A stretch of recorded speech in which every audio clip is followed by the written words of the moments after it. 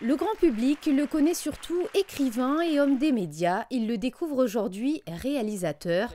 Gonzague Saint-Brie a réalisé 10 programmes courts de 2 minutes 30 chacun pour la mise en valeur mondiale du patrimoine français.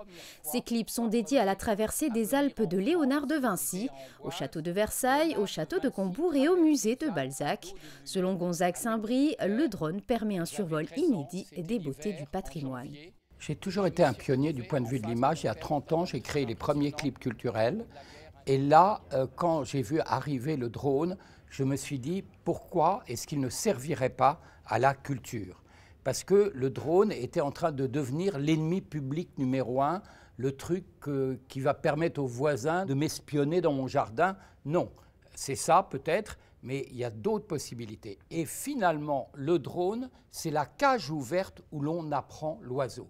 Et je me suis dit qu'il fallait constituer une collection exceptionnelle pour servir dans le monde entier euh, l'image des monuments français en faisant des portraits des châteaux français comme ils n'ont jamais été vus. Gonzague Saint-Brie témoigne d'une fascination particulière pour Léonard de Vinci. Ce peintre florentin était un homme d'esprit, à la fois artiste, scientifique et inventeur. À l'époque, Léonard de Vinci développe des idées très en avance sur son temps.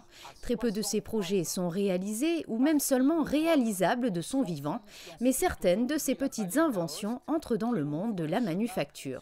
C'est très simple, c'est que Léonard a inventé l'air conditionné il y a 500 ans, il a inventé l'avion il y a 500 ans, il a inventé l'hélicoptère il y a 500 ans, et il a même inventé la caméra il y a 500 ans. Et ce qui est très intéressant, c'est que Léonard de Vinci avait rêvé du drone. Il a inventé il y a 500 ans la caméra obscura qui est à l'origine de la caméra, et il s'est aussi intéressé au vol des oiseaux.